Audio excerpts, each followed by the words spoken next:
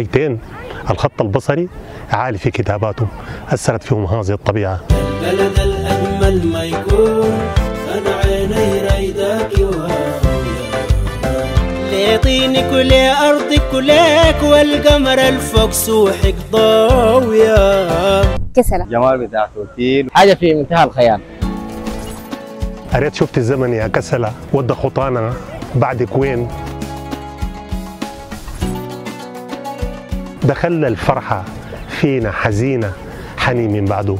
ما في حنين. البلد الماف منك اتنين والناس كلها متساوية كسلة أرضا وإنسانا.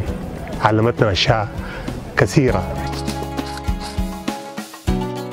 تجمع المجتمع الكسلاوي. إحنا بجد حاجة واحدة. وقاعدين في سودان واحد وبالتحديد في شرق السودان بتميزنا بالقهوة. بحس بانه الجبنه دي لما كده نتلم كلنا ونشرب القهوة. كل واحدة فينا عندها بتكون مشكلة بتحكيها بتتحلى.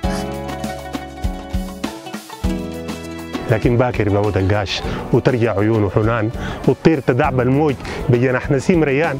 لكني لو زيك لو جاب حبيبي زمان ما ظن اعود يا فراش. لزول نساني وخان ألقاش حالة عشق؟